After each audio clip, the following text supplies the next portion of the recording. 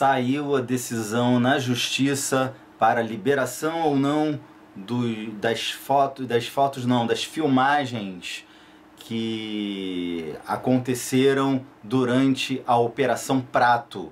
Sim, é, nós temos aí a liberação de algumas imagens fotográficas, sim, mas é, bastante vídeos que foram feitos lá através da, de Super 8, estes foram trancafiados nos cofres militares e até hoje a gente não tem é, acesso a esses vídeos. O meu amigo Rafael Pederneiras, de Florianópolis, Santa Catarina, ele entrou na justiça para pedir a desclassificação desse, de, desses vídeos a, a fim deles serem liberados para que todos nós possamos ver essas imagens incríveis, né? E hoje vocês vão estar acompanhando aqui é, o resultado, né? A decisão que foi tomada é, pela justiça, né? Junto ao tribunal, junto ao excelentíssimo juiz. Antes aquele pedido de sempre. Você que não conhece o canal, chegou aqui pela primeira vez, atraído pelo título ou por algum encaminhamento. Por favor, eu peço que se inscreva no canal, acione o sininho das notificações, dá o like, são três ações que ajudam muito, muito, muito o nosso crescimento, o fortalecimento do, do canal e, por consequência, o fortalecimento da ufologia nacional, que é isso que a gente está trazendo aqui, ufologia de seriedade. É só é, seguir o que o videozinho pede aqui.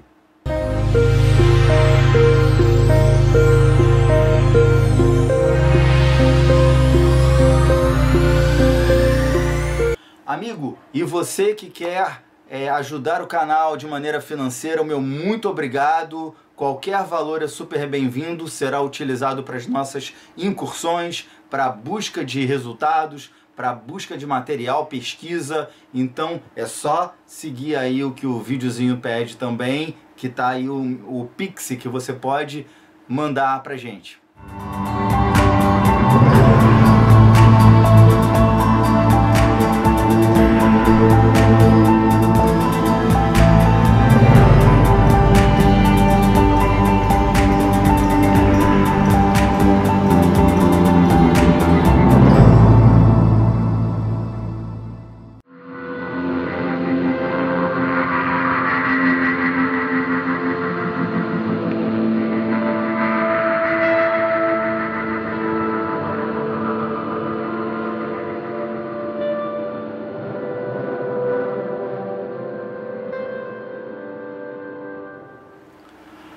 Ok, muito obrigado. Conto com a ajuda e a colaboração de todos vocês, tanto para se inscrever no canal, quanto também quem puder ajudar de forma financeira, super obrigado. Então, antes de partirmos para o tema principal do vídeo, eu queria fazer duas divulgações rapidinho para vocês. A primeira é do da feira, da tradicionalíssima feira esotérica no Tijuca Tênis Clube. Ela vai acontecer é a 17ª Feira Esotérica. Vai acontecer de 18 a 21 de maio, logo daqui a duas semanas. Vai ser sempre das 10 da manhã às 8 horas. Vocês vão então é, quem for até lá o Tijuca Tênis Clube curtir a feira, vai ter previsões de 2023, consulta, produtos esotéricos, saúde e bem-estar, espaço terapêuticos, moda, gastronomia, búzios, tarô e teremos várias palestras. Eu, inclusive, estarei lá é, ministrando a palestra Segredos em Varginha, que é o subtítulo do livro que eu vou lançar, o livro 2, né, que eu vou lançar da trilogia Contato OVNI. Quem já leu o primeiro livro, Segredos que Vêm do Céu, vai agora ter a oportunidade de adquirir o segundo livro. Quem não leu ainda, vai ter a oportunidade de adquirir os dois se quiser tá? A gente vai fazer um, umas promoções, uns combos para você conseguir adquirir o, o livro 1 e o livro 2 numa tacada só. Então aguardem que logo logo a gente vai estar tá aí trazendo é, essa maneira, essa promoção, esse combo aí para vocês, tá?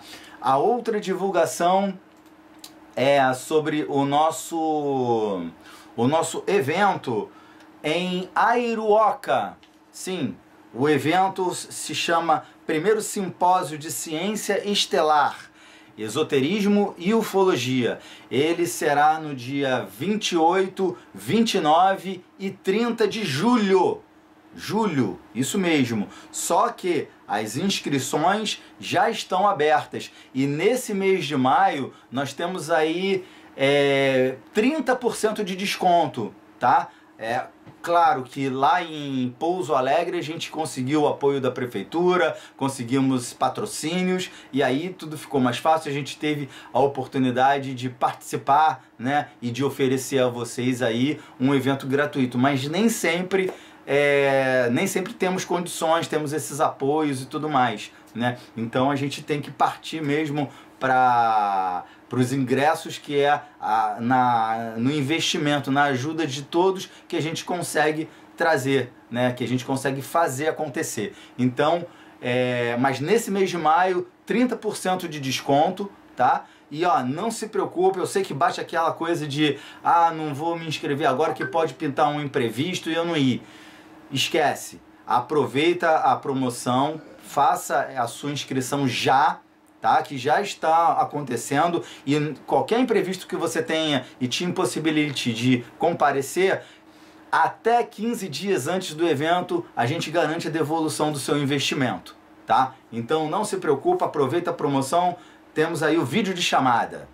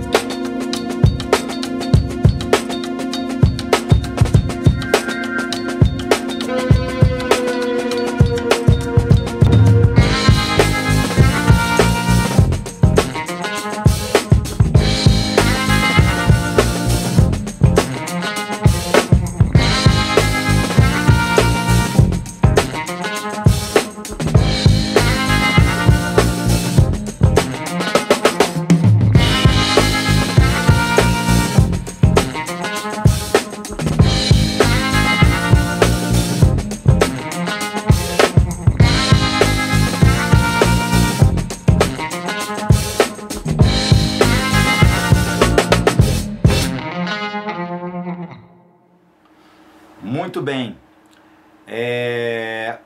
Ano passado, o meu amigo Rafael Pederneiras, lá de, de Santa Catarina, Florianópolis, ele entrou com uma ação na justiça pedindo a desclassificação das é, desse evento que aconteceu em Colares em 1977, chamado Operação Prato. Foi uma incursão militar da, das Forças Aéreas Brasileiras é, uma vez que a cidade estava sob ataque, isso mesmo, sob ataque de naves e é, muitas pessoas foram atingidas por estranhos cabos luminosos que é, paralisava a pessoa e elas sentiam que o seu sangue era sugado por esses cabos. Isso não é nenhum filme de ficção, gente. Isso aconteceu mesmo, tá? Se você quiser, você pode procurar no Google aí Operação Prato, caso chupa-chupa né, que foi o caso, como foi denominado o caso lá em, no, em 1977 na cidade de Colares e adjacências, tá? E o que que acontece? A equipe da força, é, o, o grupamento das, da, da aeronáutica que lá esteve, eles pegaram muitos depoimentos, fizeram muitas imagens fotográficas e fizeram também filmagens de Super 8 na época e esses filmes nunca vieram à tona. Estão trancados em cofres militares e o Rafael entrou na justiça para a gente ter acesso, né? Para ter a liberação e a gente ter acesso a essas filmagens. Vocês vão acompanhar agora que eu fiz umas gravações do, do resultado da decisão da justiça. Vou mostrar para vocês e, como se já não bastasse isso, eu vou mostrar, mostrar também um pequeno trecho do coronel Urangê Holanda e Urangê Holanda que chefiou a segunda incursão e a mais importante é, da, da Operação Prato. Inclusive o coronel Yurangi Holanda, ele que era cético após esse, aliás, durante esse evento, durante essa incursão, ele é, se deparou com muita coisa. Ele mesmo conta, ele deu um depoimento no próprio, na época, no Fantástico, que inclusive esse pequeno trecho que a gente vai estar mostrando para vocês, justamente para vocês verem o que ele, o que ele disse, tá? E o que, é, vamos dizer de uma certa forma, é, contesta aquilo que está no relatório oficial do juiz, né, na, na justiça.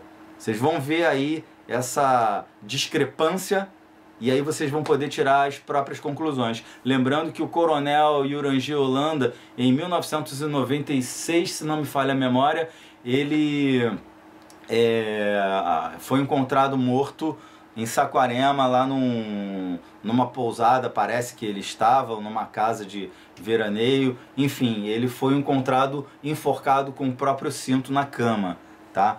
E aí, alguns dizem que ele se suicidou, uma vez que ele já demonstrava certo, é, certo problema de depressão, né? Outros dizem, tem uma, uma, uma teoria né, de conspiratória, onde ele foi silenciado. A gente não sabe, a gente não pode afirmar nada, mas isso é um caso à parte. O que eu quero mostrar aqui para vocês hoje é essa decisão da justiça, para vocês saberem se a gente vai ter ou não acesso a essas filmagens, tá? Acompanha aí o trechinho, né, da justiça e aí depois a gente mostra o que o coronel Irangi Holanda falou no depoimento lá no Fantástico. É, primeiramente, queria dar uma boa noite a todos, né? É, é um orgulho estar participando aqui do canal do, do grande ufólogo Cristiano Gonçalves, né? Eu não tenho a maior dúvida que ele vai ser um dos maiores ufólogos do Brasil, pelo trabalho que ele está fazendo na pesquisa do caso de Magé. Bom, é, o meu nome é Rafael Pederneiras, tá? Eu sou advogado aqui em Florianópolis e tem uma, uma informação muito legal aí para quem gosta de ufologia, tá? É, conforme eu já repassei né, para o colega Cristiano, que é, no sentido de que eu ingressei com duas é, ações judiciais tá, aqui, aqui na Justiça Federal de Florianópolis, tendo por objetivo a desclassificação de informações ultra secretas do caso Varginha e tendo por objetivo também no outro processo a desclassificação dos filmes né, da Operação Prato. Ah, o objeto é a aplicação da Lei de Acesso à Informação. Né? Já se passaram 25 anos desses casos, só que infelizmente o governo federal, o exército e tal, e a Força Aérea ainda é, mantém sigilo esses documentos. Uh, infelizmente eles têm por costume esse acobertamento, né? essa, esse sigilo, a sociedade não pode saber, ninguém pode saber de nada. Então achei que o certo era fazer isso, em benefício da população, em benefício do, do direito à verdade, em benefício do cumprimento né, da própria lei de acesso à informação, que é uma lei estabelecida pelo Congresso Nacional, uma lei federal que deve ser respeitada. E o prazo máximo de sigilo previsto na lei é de 25 anos. Passou 25, o governo tem que liberar né, todos esses documentos. E a gente espera aí que tenha algum êxito, né, tenha isso nessas ações e a verdade seja revelada ao mundo. Né? Possivelmente os principais militares que participaram do caso, do caso Vazio serão, serão chamados a prestar depoimento, como o Coronel Olimpo Vanderlei, uh, o Major Maciel, o Cabo Eric Lopes, né? Se Deus quiser, a gente vai chegar à verdade e a verdade será revelada para todo mundo. Quem quiser maiores informações aí pode me mandar um, uma mensagem pelo Facebook, tá? Estou disposto a responder para quem quiser. E é isso aí. Um abraço a todos aí, valeu, tá? Um abraço aí pro Cristiano, obrigado pela oportunidade. Valeu, um abraço, tchau. Pois bem, amigos, tendo em mãos aqui é, a sentença que o Rafael recebeu. Tá aqui, ó, Poder Judiciário, Justiça Federal, Seção Judiciária de Santa Catarina, Terceira Vara Federal de Florianópolis. Pois bem, a Constituição Federal dispôs sobre as bases sobre as quais devem ser avaliados os dados sujeitos a sigilo no inciso 33 do artigo 5 Aí é interessante, eu vou estar tá mostrando aqui para vocês algumas partes bem interessantes de, dessas sentenças. É, nesse é, 33 aqui, inciso 33, Todos têm direito a receber dos órgãos públicos informações de seu interesse particular ou de interesse coletivo ou geral, que serão prestados no prazo da lei, sob pena de responsabilidades, ressalvadas aquelas cujo sigilo seja imprescindível à segurança da sociedade e do Estado. Isso já é muito interessante e aqui embaixo eles repetem em letras em negrito, o acesso à informação previsto no capô não compreende as informações referentes a projetos de pesquisa e desenvolvimento científico ou tecnológicos cujo sigilo seja imprescindível à segurança da sociedade e do Estado, tá? Então essa parte é interessante, mas vamos vamos pegar aqui como um todo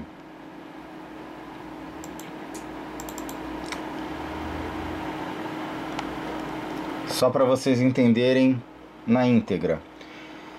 Rafael Zatarian Pederneiras ingressou em juízo contra a União, pretendendo obter provimento jurisdicional de urgência que obrigue a ré a tornar públicos os vídeos de OVNIs produzidos pelos militares da Força Aérea Brasileira que participaram da denominada Operação Prato relata em resumo que trata-se de operação da Força Aérea Brasileira envolvendo eventos ufológicos nos anos de 1977 e 78. Após relatos sobre avistamentos de objetos luminosos nos céus do município de Colares, cidade do estado do Pará, sustenta que Passados mais de 25 anos da referida Operação Prato, não houve a desclassificação dos vídeos filmagens de OVNIs produzidos pelos militares da FAB, que participaram da referida operação. Afirma que a violação ao artigo 24 da Lei 12.527 de 2011, Lei de Acesso à Informação, a qual prevê prazo, prazo máximo de 25 anos para o sigilo de documentos do governo federal. Assim pleiteia a procedência do pedido, sendo determinado em definitivo a União Federal que desclassifique e torne público imediatamente todos os vídeos filmagens de OVNIs produzidos pelos militares da FAB que participaram da Operação Prato. A tutela foi indeferida. A União apresentou contestação sustentando preliminarmente que o autor carece de interesse processual, uma vez que os documentos existentes sobre o caso não são mais sigilosos e estão em poder do Arquivo Nacional. No mérito, asseverou que o mero lapso temporal de 25 anos não induz o levantamento do sigilo sobre toda e qualquer informação com acesso classificado.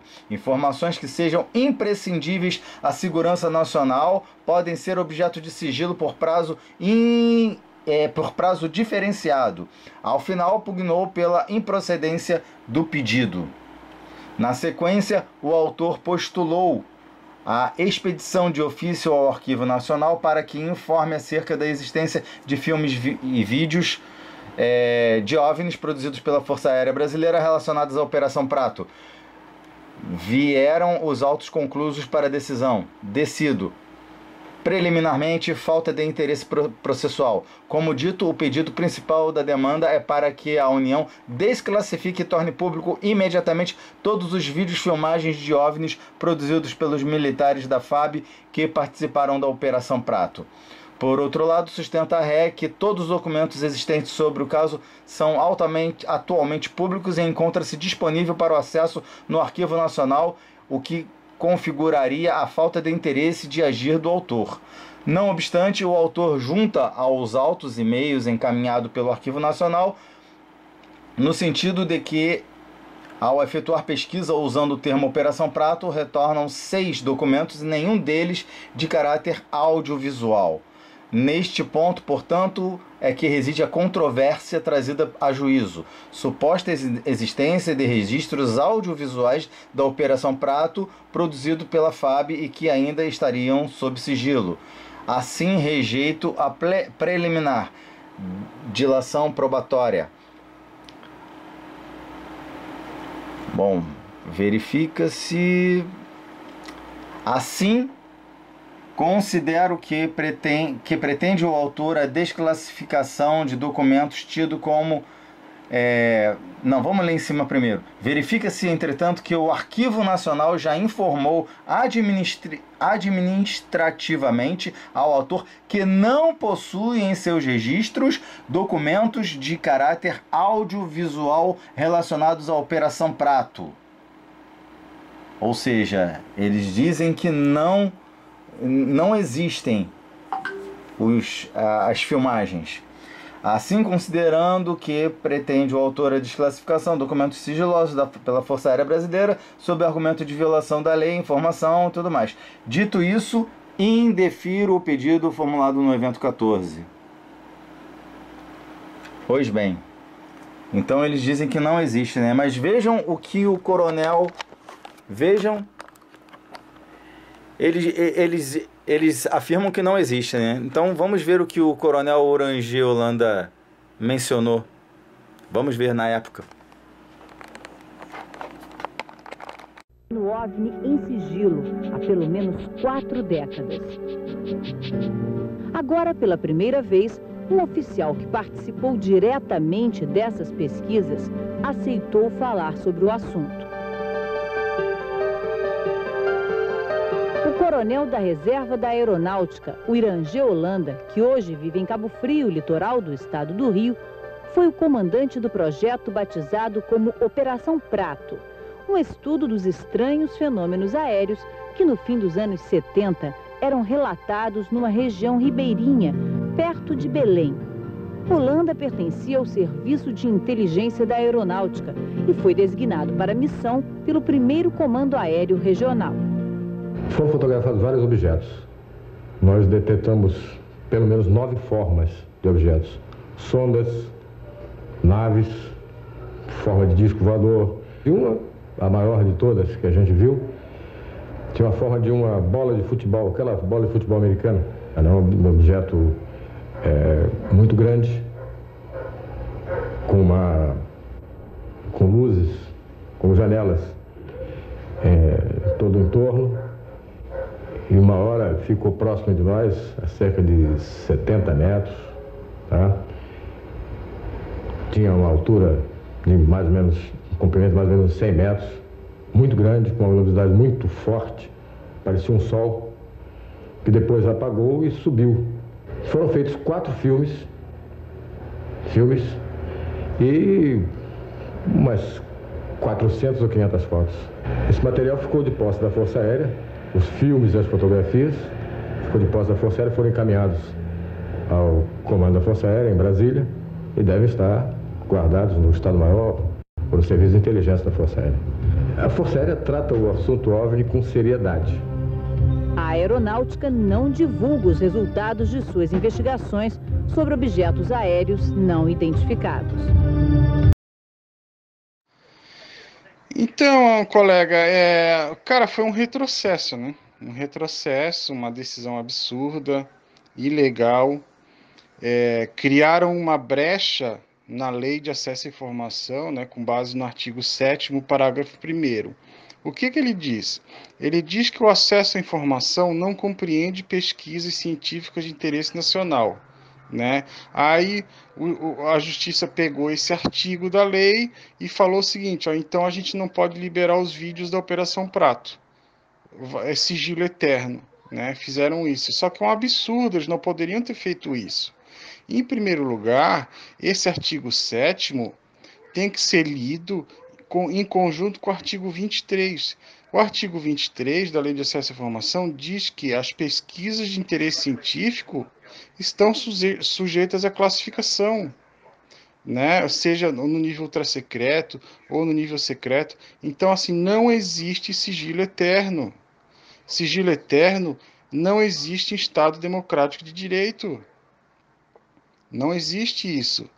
Entendeu? Então eles criaram isso aí é, para não revelar os vídeos da Operação Prata. Como é uma questão de segurança nacional, eles arrumaram um meio, uma maneira de é, trancar isso daí. Né, de trancar, porque é um assunto de segurança nacional, de segurança nacional, então eles arrumaram um meio de trancar. É um absurdo, entendeu? Não existe sigilo eterno, sigilo eterno em hipótese alguma. Eles, a lei de acesso à informação foi rasgada. Né? É um retrocesso por quê? Porque o próprio Estados Unidos já liberou algumas filmagens de OVNIs pela, feita pela Marinha, entendeu? Pela Força Aérea dos Estados Unidos e o Brasil fazer esse retrocesso é um absurdo. O que, que a gente vai fazer? Né? Então imagina, nunca a gente vai ver esses vídeos. Vamos morrer sem ver. Muito menos caso Varginha e tal, quer dizer. Não tem. Não, eu não vejo mais luz no fim do túnel. Né? Eu, consideraram isso aí e colocaram, tipo, ó, isso aqui é um segredo de Estado.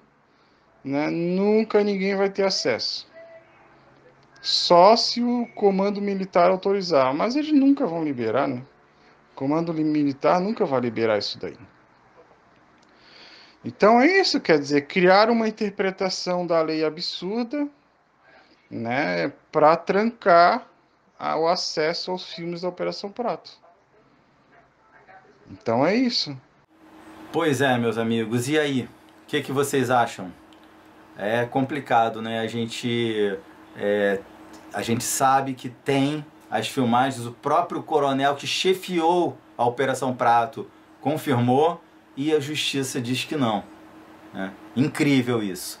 A gente vive realmente uma, uma censura né, camuflada. A gente é, tem que conviver com isso, infelizmente, mas a briga continua. O Rafael ele entrou também é, pedindo os documentos e filmagens do caso de Varginha também, tá? Estamos aguardando aí os resultados, né? A gente tem esperança, né? Esperança é a última que morre, mas vocês já viram aí como é que a justiça trata, né?